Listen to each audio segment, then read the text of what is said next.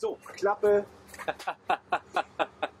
Der Janik, die erste. Ah. Der Janis. wie- wie- Der Janis oder Janosch. Ja, Ja, ich auch schon genannt. Janosch, Janis, Janis, alles.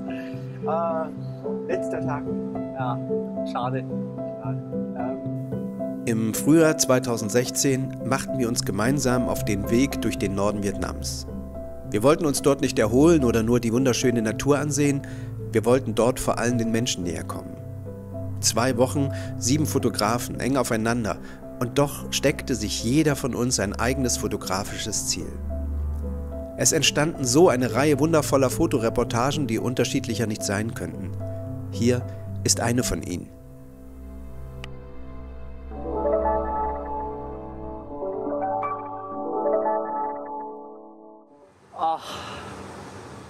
Ich finde es ganz schwierig, die Reise zu beschreiben, weil einfach so viel passiert ist. Ähm, wir haben so wahnsinnig viel erlebt, wenn ich so zurückdenke, als wir in Hanoi gestartet sind, mit den unzähligen Eindrücken, wie wir da ähm, am See entlang fast gesprungen sind und, und jedes Motiv einfangen wollten. Und sich dann das Ganze so ein bisschen gelegt hat, wir alle ein bisschen ruhiger geworden sind, wir in uns gegangen sind, ähm, dann auch auf die Reportage mehr fokussiert haben. Und ich hatte ja die Erwartung, dass, dass ich ein Stück weit anders zurückkomme, als ich gegangen bin. Dass aber gleich so viel mit mir passiert, das hätte ich nicht gedacht.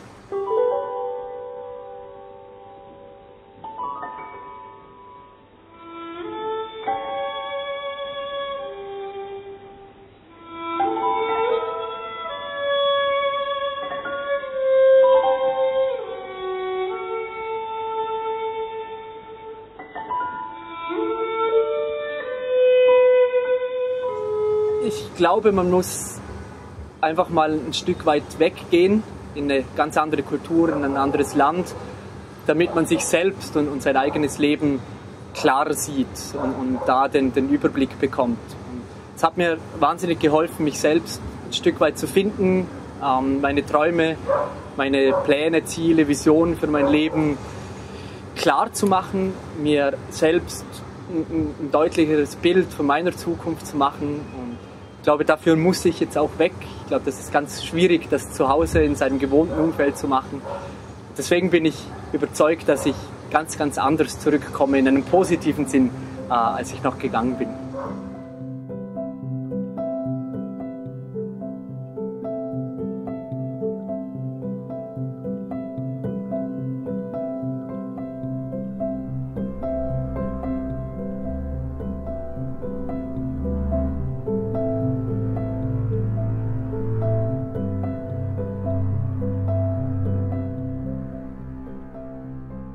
Als ich nach Vietnam kam, hatte ich die Intention, äh, Happiness is Expensive zu machen, also eine Reportage über das Glück, über die Zufriedenheit der Leute hier. Dann bin ich gewechselt auf, auf Stress, auf Vietnamesisch oder eben kein Stress, wie, wie die Leute eben gelassen sind in ganz stressigen Situationen. Kam ich aber auch nicht wirklich weiter, ähm, habe dann gewechselt auf alle möglichen Vehikel, weil es da auch ganz, ganz spannende Szenen gibt habe ich aber auch gleich über Bord geworfen, weil ich mich nirgends wirklich zu Hause gefühlt habe. Also ich hab, hatte nie das Gefühl, bam, genau das ist es. Und dann eines Abends, als wir essen waren und dann noch einen Kaffee trinken gingen, kam ich an der Baustelle vorbei, wo ich dann ganz spontan aufs Gerüst hochgeklettert bin und da irgendwie die nächsten wahrscheinlich 60 Minuten verbracht habe. Gefühlte fünf Minuten, es ging ganz, ganz schnell.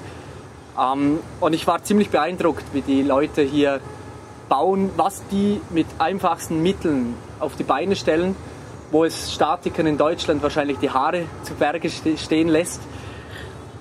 Und das war in, in Dien Phu. Und ich war mir da noch nicht ganz sicher, aber ich hatte die Intention, was mit Bau zu machen. So richtig los ging es dann aber erst in den, in den letzten Tagen unserer Reise. Zunächst in, in Haiphong, einer großen Baustelle. Und dann wirklich los ging es dann in Kapa, ähm, wo ich Straßen- bzw. Bergarbeiter begleitet habe, die, die da den, den Berg wegsprengen zum, zum Straßenbauen.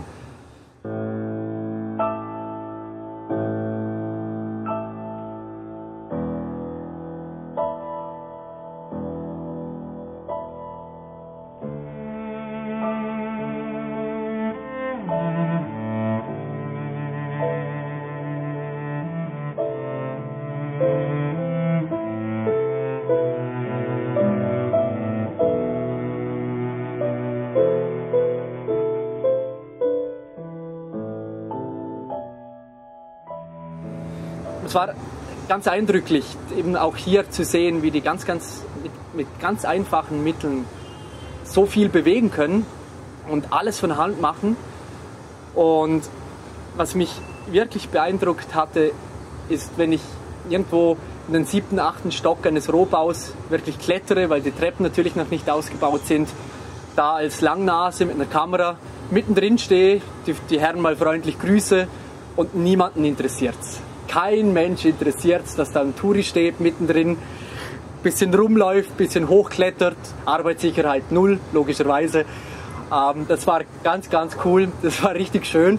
Ich konnte mich da so frei bewegen, wie ich wollte und alle fanden das sogar noch cool und ich hatte noch eine Freude, dass ich da bin und lachten in die Kamera und hatten Spaß mit mir. Es gab ganz viele dieser Mach das mal in Deutschland Situationen. So, mach das mal in Deutschland, geh mal in den Rohbau rein, in den siebten, achten Stock, hoch mit einer Kamera, grüß die Leute, mach Fotos.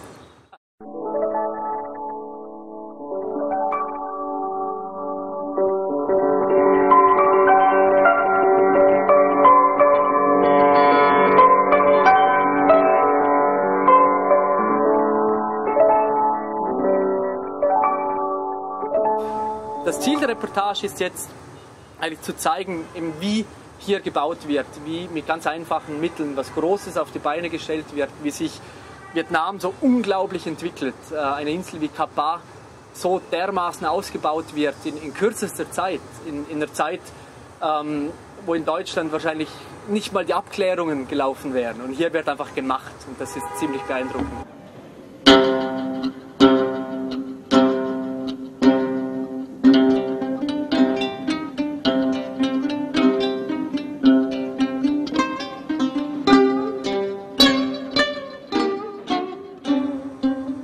Ich wurde eigentlich immer ganz freundlich empfangen. Nur ein einziges Mal wurde ich weggeschickt. Ähm, da war ich in Kapar bei, bei ein paar ganz, ganz entspannten Bauarbeitern.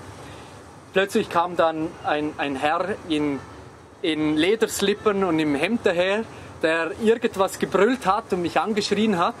Ich habe dann sowas verstanden wie, hau ab du Arschloch, geh möglichst weit weg wie sich dann herausgestellt hat, als wir eine Stunde später mit dem Bus vorbeigefahren sind und überall Schutt und Geröll und Steine rumlagen, ähm, haben die dann den Berg weggesprengt und wahrscheinlich meinte er nur, pass mal auf, geh, bisschen, geh besser ein Stückchen weit weg, ähm, tust dir selbst einen Gefallen, wenn du jetzt weggehst.